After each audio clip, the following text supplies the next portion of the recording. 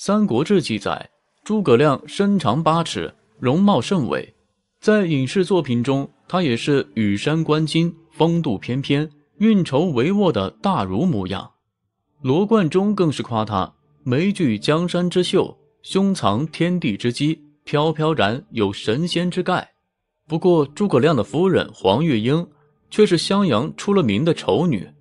黄月英是黄头而色黑，小眼睛，塌鼻梁，身长不过四尺，还有一口龅牙。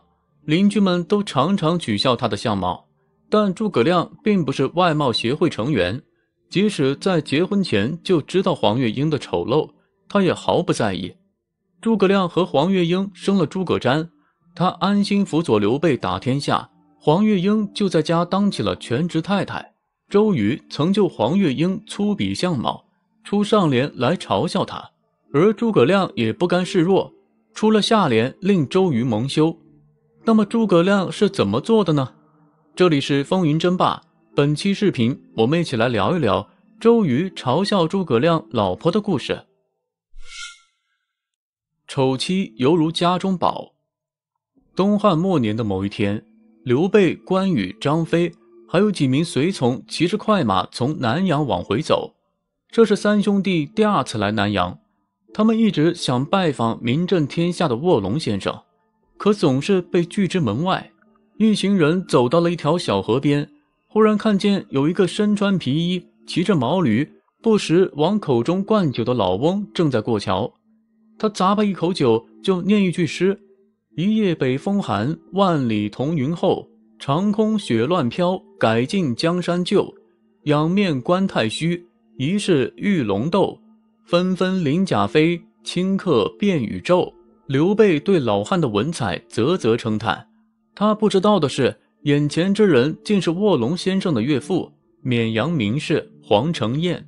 黄承彦上通天文，下知地理，凡韬略遁甲诸书无所不晓，而且他和诸葛亮是志趣相投的忘年交。黄承彦有个女儿叫黄月英，因为长相不堪，二十多岁了都没出阁，是襄阳远近闻名的圣女。黄承彦平常总和诸葛亮一起喝茶讨论天下大事。他知道诸葛亮乃盖世之奇才，且尚未婚娶，于是他谎称问诸葛亮：“听说你正在择偶，我有个女儿，相貌不佳，生得黄头发黑皮肤，但是才能和你相匹配。”诸葛亮一听，毫不犹豫地答应了下来。民间百姓都很不理解，诸葛亮相貌英俊，前途无量。大家还编了个谚语：“莫作孔明择妇，正得阿成丑女。”借此嘲笑诸葛亮。那么仪表堂堂的诸葛亮为何要娶丑女黄月英呢？因为两人走到一起是过日子的，相辅相成，互相依偎，有共同语言才是最重要的。空有一副好看的皮囊，又能当饭吃，娶回来又有何用？对诸葛亮来说，外表不重要。重要的是内涵。黄月英的丑在襄阳是出了名的，但她的才华横溢也是人尽皆知。在襄阳流传着很多关于黄月英的故事，消息灵通的诸葛亮不可能不清楚。所以，诸葛亮娶黄月英是始于才华，而非始于颜值。诸葛亮与黄月英结婚当日，他就领会了这个襄阳才女的厉害之处。夜晚入洞房前。黄月英头戴红盖头，诸葛亮刚想先，黄月英突然说：“且慢。”他表示要和夫君对上一对。诸葛亮微微一笑，就让黄月英先出上联。黄月英吭了吭声，俏皮地说：“寒露已过，长空天天飘银丝。”诸葛亮答：“清明到来，大地夜夜得甘霖。”黄月英见诸葛亮一派仙风道骨，又说道。天作棋盘，星作子，谁人敢下？这当然难不倒诸葛亮。他随口回道：“地作琵琶，路作弦，哪个能弹？”这一问一答，倒让黄月英来了兴趣。他又以时令出题曰：“二月春分，八月秋分，天气不长不短。”诸葛亮当然不甘示弱，他回：“三年两闰，五年三闰，阴阳无对无错。”黄月英听了诸葛亮的回答，非常满意。诸葛亮问是否能掀盖头了，黄月英害羞的点了点头。诸葛亮挑起红布一看，月英哪是什么丑女，分明是仙女下凡。只见黄月英单纯外朗，皓齿内鲜，明眸善睐，艳肤成全，在昏黄灯光映衬下，显得分外妖娆。原来黄月英长得并不难看，只是生逢乱世而已。其父黄承彦又是著名的隐士，一个长相出众的女子，难免会惹来祸端。黄承彦为了让女儿避祸，只好四处宣传她面貌不堪。古代的女子不经常出门。外人也就很少知道黄月英的真实长相，而且每次出门前，黄月英都会戴上父亲做的丑陋面具，如此，众人皆以为黄月英长相难看。周瑜和诸葛亮斗嘴，自讨苦吃。婚后，黄月英对诸葛亮照顾得无微不至，诸葛亮自然不能负了这份真情。每当有人攻击黄月英的相貌时，诸葛亮都会挺身而出。周瑜和诸葛亮是死对头，两人各为其主，自然少不了明争暗斗。在一次宴会上，众人喝得陶醉不已。古代酒桌上的娱乐项目有很多，最普遍的就是答对了。酒过三巡，菜过五味，周瑜便提议和诸葛亮比试一下文采。周瑜率先发难道。有木也是丑，无木也是丑。去掉丑边木，家女便是妞。襄阳女子生的丑，百里难挑一个妞。周瑜的意思很明白，就是在讽刺诸葛亮娶了个丑老婆。周瑜的夫人小乔和他的姐姐大乔是江北闻名遐迩的女神，如陈寿在《三国志》中所言：“乔公两女皆国色也。”姐妹俩平日大门不出，二门不迈，偶尔出一趟门，邻里都以为来了仙女。二乔的美貌人尽皆知，以至于曹操和曹植父子都对他们垂涎三尺。而诸葛亮不可能在周瑜面前落了下风，他回道：“有木也是桥，无木也是桥。去掉桥边木，家女便是娇。江东美女数二乔，南户铜雀不所交。”诸葛亮的讽刺意味更加明显，他是在质疑周瑜的能力不足，很容易让江东沦陷。而后曹家父子把二乔给带到铜雀台中去享乐。成功男人背后的女人，黄月英在诸葛亮的事业上起了很大的作用。杜甫评价诸葛亮：“功盖分三国，名成八阵图。”分三国和八阵图都有黄月英的贡献。成婚后，诸葛亮夫妻二人生活在隆中，可诸葛亮总是闷闷不乐，忧心忡忡。某天晚上，诸葛亮头痛难忍，从梦中惊醒。黄月英知道夫君这是担忧天下苍生。第二天，他拿上金帕，再采下薄荷，包在金帕内叠成一条，包在诸葛亮的脑壳上。诸葛亮顿觉神清气爽。诸葛亮连连夸赞黄月英心灵手巧，黄月英微微一笑，说道：“相公的病是由心烦忧虑而起，我不单能治你的头疼，还能治你的心病。”说着，便取下了诸葛亮的头巾。诸葛亮一看，头巾里面绘制的是一幅三分天下图。诸葛亮恍然大悟，这为他后来的隆中对提供了思路。诸葛亮见黄月英聪明伶俐，奇巧无比。就想着出个难题考考他。正月十五，诸葛亮给黄月英在房间门口摆上了长蛇阵，让他破了阵再进去睡觉。这可难不倒黄月英，他三下五除二就找到了破阵之法。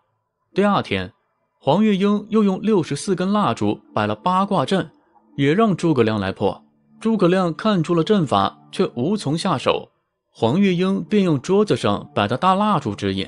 让诸葛亮走出了八卦阵。后来，诸葛亮在八卦阵的基础上又稍加改进，这才有了八阵图。诸葛亮追随刘备以后，黄月英也没少帮忙。三国时期，蜀国实力最弱，诸葛亮每天都有忙不完的事情。黄月英担心诸葛亮心情烦躁，处理不好政务，就给了他一面鹅毛羽扇。羽扇的作用有两个，其一。是让诸葛亮扇扇子稳定情绪，其二是让诸葛亮以扇遮面，以免旁人从他的微表情中观察其心理动向。可见黄月英是个心思缜密之人。黄月英担心诸葛亮忙起来就顾不上吃饭，所以他发明了很多既美味又便捷的食物，比如孔明饼、阿丑醋、龙凤配、喜沙肉等等。黄月英和诸葛亮一样，都是发明家。他小时候调皮贪玩，又爱探索，从小耳濡目染的跟着父亲设计各种机关。黄月英也有了几分灵气。古代没有机械工具，农民浇水只能单坡瓢灌。黄月英觉得这样既费时又费力，他就把一二十个水舀连接在一起，再装上木轮，让它们转动。如此，一个简易的水车就设计好了。后来，诸葛亮有很多发明，如木牛流马、诸葛亮连弩等等，这其中都有黄月英的智慧。但随着刘备的去世，诸葛亮的压力越来越大。建兴十二年，诸葛亮在五丈原病逝，至终未曾实现北伐之愿。他去世后不久，黄月英便追随而去。临终前，黄月英给儿子诸葛瞻留下四个字：忠义勤勉。诸葛亮娶丑女的故事启迪人们：婚姻大事相貌并非关键，只要夫妻双方情投意合，能够互相勉励，给予对方关怀，那就是不可多得的人生伴侣。不知道大家对诸葛亮和妻子黄月英的故事有什么样的评价？欢迎各位在评论区留言。我们下期再见。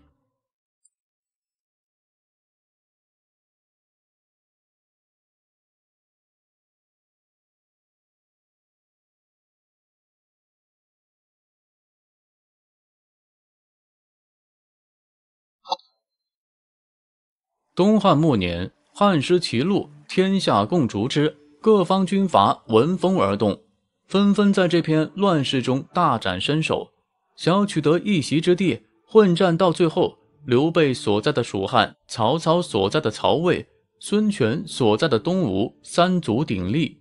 东吴的君主虽然是孙权，但是大家都知道，这份基业其实是孙权的兄长孙策打下来的。也正是因为孙策的存在，他的至交好友周瑜才会留在孙权身边，为孙家的江山鞠躬尽瘁，死而后已。在中国名著《三国演义》中，孙策临终前曾嘱咐孙权：内事不决问张昭，外事不决问周瑜，把周瑜这个至交好友当成托孤之臣。但在真正的历史上，孙策实际上只托孤给了张昭。这是怎么一回事呢？难道张昭这个臣子比他的至交好友周瑜更值得信任吗？这里是风云争霸，本期视频我们一起来聊一聊孙策和周瑜的话题。江东双璧，说起孙策和周瑜，他们是自小相识的好友。本来孙策是浙江人，周瑜是庐江人，两人并不居于一地。但是在董卓之乱时，孙策的父亲孙坚外出平叛，害怕妻小会受牵连，就把他们送到了庐江避难。孙策和周瑜因此相识。周瑜出生于当地的大户庐江周氏，他的从祖周景、从伯周忠都是高官显爵，位列三公，因此周瑜是一个名副其实的世家贵公子。跟孙策这样武将世家的小将。按理说本该没什么交集，但是孙策为人豪爽大方、坚毅果敢，周瑜极为欣赏他，两人就此成了好友。孙策在庐江避难的时候，一直与周瑜形影不离，两人经常把臂同游，诉说内心的志愿与理想，越说越觉得对方就是自己一生的兄弟和知己。于是孙策拿出了自家的传统保留节目——升堂拜母。把周瑜介绍给自己的母亲，也表明两家是通家之好。可天有不测风云，这样平静的好日子并没有过太久。孙策的父亲孙坚就因为私藏玉玺而得罪了袁术，最终被算计，在战场上阵亡。害父之仇不共戴天，孙策直接找了个机会，带着父亲的旧部叛离了袁术，到故乡江东那边发展。令孙策感动的是，他的好兄弟周瑜也为了他离开了声势浩大的袁术，陪着他一起回到江东白手起家。在此期间，周瑜说服了自己的舅舅庐江太守前来相助，又从家里抠出了一大笔钱粮，还把另一个足智多谋的发小鲁肃也一起坑来辅佐孙策，把孙策感动得眼泪汪汪。毫不夸张地说。如果没有周瑜的话，孙策绝不可能那么轻易就打下东吴的这片江山。孙策自己心里也有数，所以他对周瑜无比信任和倚重。两人虽为君臣，感情却依旧像之前一样亲密无间。众人对他们的感情都非常羡慕，因此将这对少年英雄称为“江东双璧”。更绝的是，两人不仅有钱一起分，有仗一起打。连有美女都一起娶了。当时东吴最有名的两个美女大乔和小乔，就是被这兄弟俩瓜分的。孙策娶了大乔，周瑜娶了小乔，两人从兄弟又变成了连襟。孙策还得意洋洋地向周瑜道：“乔公二女虽流离，得吾二人作婿，一足为欢。”这个时候春风得意、亲密无间的两人。怎么也不会想到，很快他们就将迎来永别。周瑜甚至连孙策的最后一面都没见到。临终托孤，在当时的乱局之中，年少的孙策能够凭借着武力和智慧打下一片江东天下，这出众的实力让当时的不少英雄都忌惮不已。曹操就是其中之一。公元二零零年。官渡之战正激烈进行中，对曹操来言，这堪称他一生中最难熬的一段时期。被袁绍全面碾压，只能咬紧牙关拼命支撑着。但哪料，就在这时，一则消息传来，差点让曹操崩溃。孙策正在密谋，准备要偷袭许都。如今的曹操哪还有余力增援许都，防范孙策？一旦许都有失，曹操将无葬身之地。曹操正叫天天不应，喊地地不灵时，郭嘉站出来了，一副风轻云淡的样子，开口说了起来。郭嘉对曹操说：“孙策是厉害，以至于都厉害到了视江东俊杰如无物的地步，每次外出连保镖都不带够。敢问这还是厉害吗？分明是找死而已。须知他害了那么多江东豪杰，已是仇人遍布。”所以劝解曹操，还有诸位同僚们，大家都洗洗睡吧，养精蓄锐，明天还要继续跟袁绍开战呢。郭嘉意思，不等孙策偷袭许都，他就必会被仇人刺杀而亡。曹操听完郭嘉的分析后，一拍大腿表示，郭嘉说的一点都没错，孙策就是一介匹夫，岂是他曹操的对手？所以只管盯紧袁绍，孙策活不了几天了。但曹操心里却非常清楚，如今这态势，就只能相信郭嘉之言了，多撑一天是一天吧。结果果然不出郭嘉所料，刚愎自用的孙策被前来复仇的许贡门人扎了个透心凉，从此伤重不起，很快就迎来了生命的终结。孙策虽然万分不甘，但也只能让大家都过来听遗言。这其中最重要的就是。东吴日后究竟应该由谁继承，又应该由谁来辅佐？当时时局动荡，孙策的儿子又还太年幼，无论是孙策本人还是东吴的大臣都不支持一个小婴儿继位，所以孙策最后选择兄使弟及，把位置传给已经成年的弟弟孙权。决定好了继承人，孙策就应该交代托孤的大臣了。按理来说。跟孙策关系最亲近又能力出众的周瑜，应该是不二的人选。但是策灵王以地权托招，招率群僚，立而辅之。也就是说，孙策把弟弟托付给了张昭，根本就没提周瑜的事。周瑜之所以能够和张昭分庭抗礼，成为东吴的首席大臣之一，是孙权下的令，跟去世的孙权没有关系。这就很奇怪了。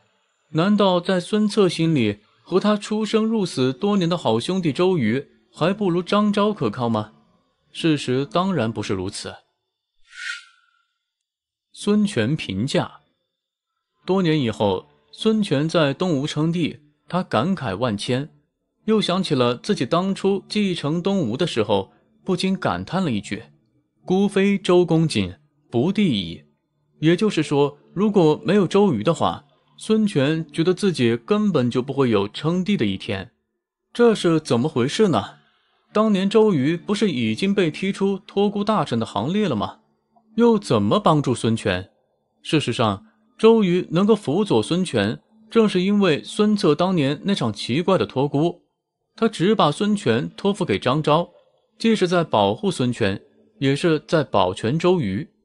一来，当时周瑜不到三十岁，毕竟还年轻，根本就无法与江东本地的豪强势力之首张昭硬拼。如果孙策强行将他塞进托孤大臣的团队里，很可能会让他遭受江东豪强势力的抵抗，最后不得不在内斗中消耗实力。二来，孙策和周瑜可以说是这世上对对方了解的最深的人了。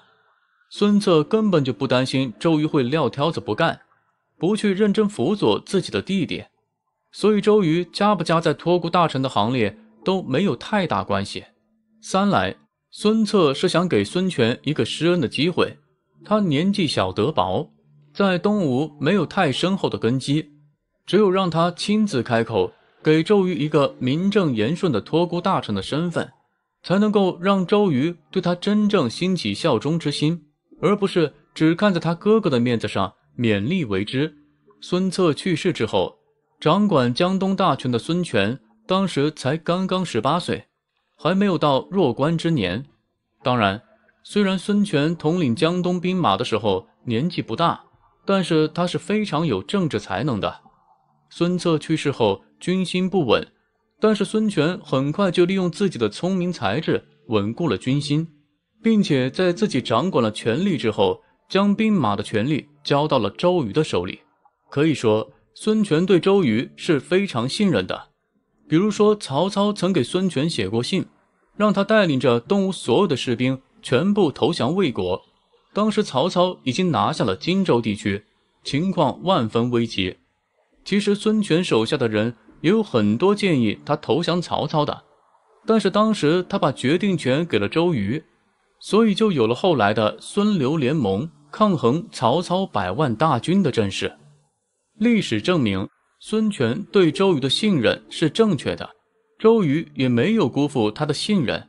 赤壁之战，孙权的东吴军队名声大噪，同时也挫败了曹操的锐气。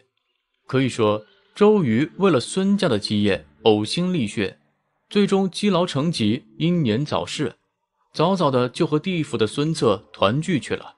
这样深厚的兄弟情谊，古往今来都没有几例。孙策能有这样一个肝胆相照的生死兄弟，着实是天与之幸啊！如果周瑜能多活几年，那么三国的情况可能和历史上的发展会不大相同，很有可能江东会一统天下。但是天妒英才，没有办法，周瑜英年早逝，孙权也失去了自己的得力助手。古代的诸侯国的首领，或者说皇帝。在危难时刻都有托孤的习俗，自己的亲属不能信任，而手下又无可用之人，这才是悲哀。当时孙策是幸运的，幸好有周瑜这一良将，但是孙权就没有那么幸运了。周瑜早逝后，江东再也没有以前的辉煌了。不知道大家对孙策托孤这件事有什么样的评价？欢迎各位在评论区留言，我们下期再见。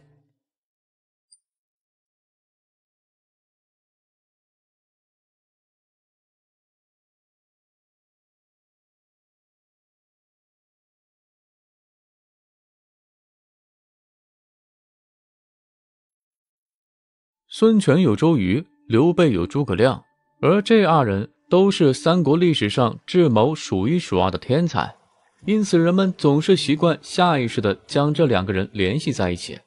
但因为这两个人才能相当，效力于不同的君主，所以二人大部分时候都处在敌对的状态。《三国演义》中写道，周瑜在临死前曾悲痛地喊道：“既生瑜，何生亮？”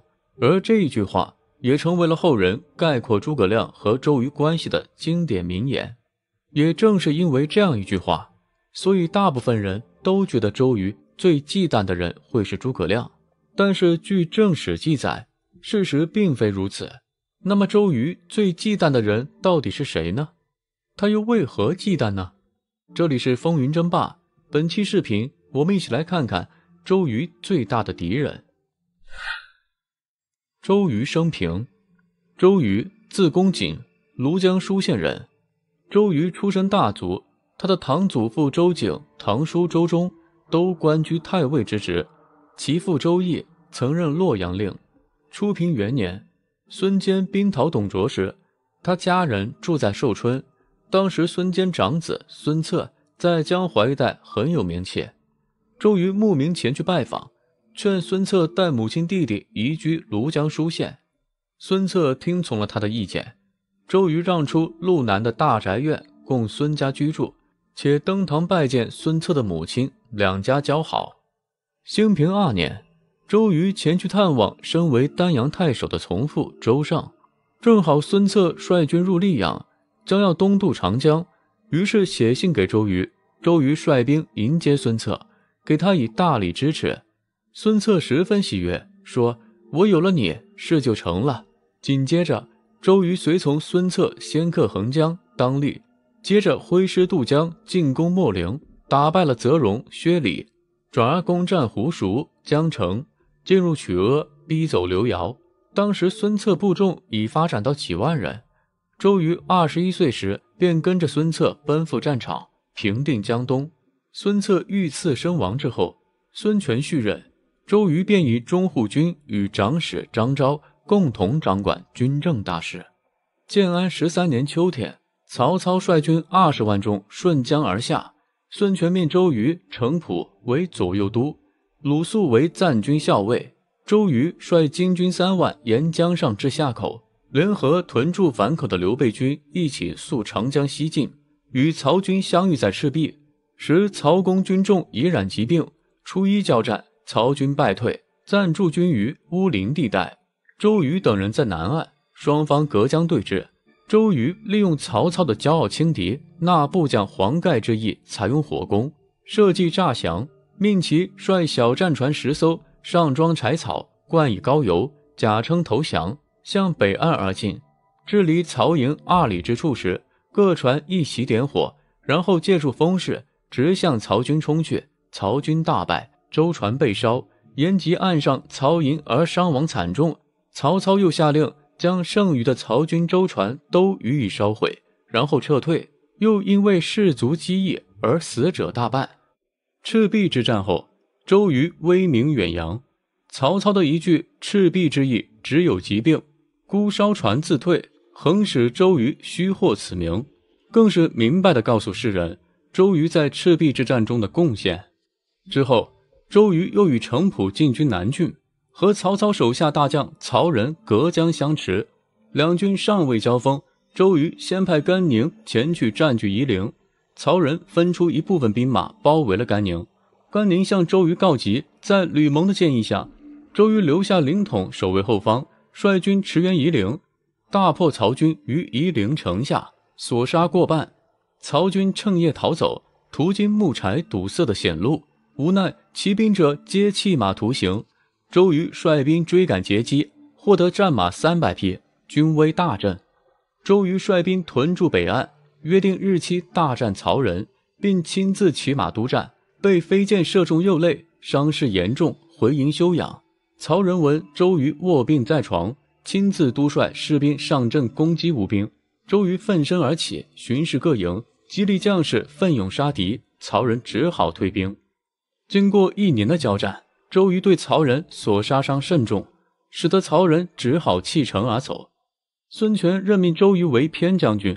兼任南郡太守，并把夏郡、汉昌、浏阳、周陵四个县作为他的奉义，让他屯兵于江陵。建安十五年，周瑜返回驻地江陵，行至巴丘，路染疾病，不幸病卒，年仅三十六岁。周瑜临终时上表孙权说：“人生有死，休短命矣。诚不足惜，但恨威志未展，不能再为东吴效命了。”孙权听闻周瑜病逝，悲伤不已，哭泣道：“公瑾有王佐之资，然而寿命短促，我还能依赖什么呢？”又亲自穿上丧服为周瑜举哀，感动左右。周瑜的灵柩运回吴郡时，孙权到芜湖亲迎，各项丧葬费用全由国家承担。孙权称帝后，对公卿说：“如果没有公瑾，我是当不上皇帝的。”周瑜和刘备，赤壁之战后，刘备攻占了武陵、长沙、零陵、贵阳四郡，而刘备还想要更多荆州的领地。于是就以江南四郡地少，不能安民为理由，请求孙权把南郡借给他，使他得以控制荆州地区的局面。周瑜自然是看破了刘备的意图。据《三国志·吴书》记载，周瑜当即上书给孙权，书中说：“刘备以枭雄之姿，而有关羽、张飞雄虎之将，必非九曲为人用者。余为大计以喜备之吴，胜未助公事。”多其美女完好，以娱其耳目。分此二人各置一方，使如愚者得协与攻战，大事可定也。今委割土地以资业之，据此三人聚在疆场，恐蛟龙得云雨，终非池中物也。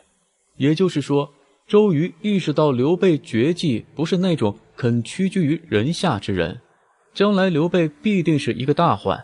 所以就建议孙权想办法将刘备安置在东吴，为他置办宅府，然后用美人计将他留下，然后将刘备手下的大将分开。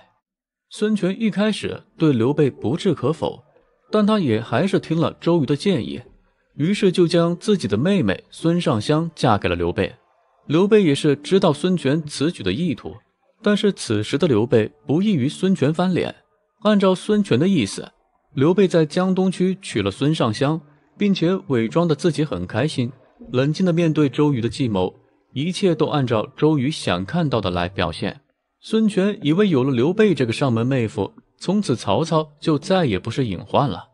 再加上刘备的表现也很好，于是刘备就在这个时候就对孙权说：“刘某客居江东已有十日，曹贼仍在北面虎视眈眈，旧部将嗜酒书战阵。”恐已多有懈怠，备望能回归故里，以御外敌。孙权于是就答应了，让刘备回去。据《江表传》记载，刘备之自京还也，全程飞云大船，与张昭、太松、鲁肃等十余人共追送之。刘备这条猛虎就这么放归了。周瑜就很不甘心，于是又想了一计。这个时候刚好刘璋在任益州州牧，张鲁不断生事滋扰。据《三国志·吴书·周瑜传》记载，周瑜对孙权说：“今曹操心折虑，方忧在复心，未能与将军联兵相视也。其与奋威俱进取蜀，得蜀而并张鲁，因留奋威固守其地，好与马超结缘。余还与将军据襄阳以促操，北方可图也。”这一次，孙权看清刘备了，就想实行周瑜的计划。但是就在周瑜打算赶回江陵，做出征的准备工作的时候，半途染病，死于巴丘。周瑜在死前特地为孙权留下了一句忠告，他说：“此人不除，东吴必危。”而这个人正是刘备。但是很不幸的是，孙权并没有把他的话放在心上，这也让刘备有足够的机会去扩张自己的羽翼，使他自己的实力不断壮大。在十几年之后。刘备称帝后，迅速发起了夷陵之战，气势强劲，打得东吴军队节节败退，差一点就能占领东吴。幸得陆逊横空出世，大胆后退诱敌，终于五万吴军一举击败气势汹汹的蜀军，创造了由防御转入反攻的成功战例。但刘备也真的如周瑜所料，差点颠覆了东吴。不知道大家觉得刘备是不是周瑜最为忌惮的人呢？欢迎各位在评论区留言，我们下期再见。